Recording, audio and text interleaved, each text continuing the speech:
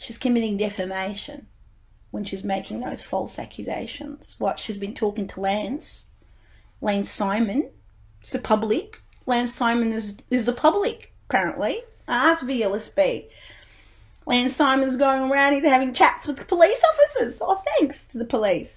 Kind of know he's a bit of a, you know, your friend. And then he's also having a bit of chinwag with the VLSB. Lance Simon, he's got trouble tattooed across his tum tums. And very little followers online. And people who follow him, they're pretty stupid too. So amazing. Apparently, Lance Simon has been having a bit of chin wag with the VLSB. Apparently, he's the public. he's representative of the public. Lance Simon is the public. Hilarious. It's just me, Lance, again. Got my lawyer outfit on. I figure, well, if Peter Little and Serene can become lawyers, maybe Lucky Lance can be a lawyer.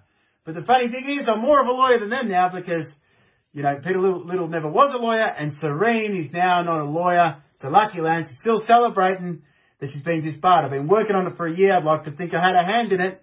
I was the first to expose it to MSM and uh, I was the first to report it to the Legal Services Board.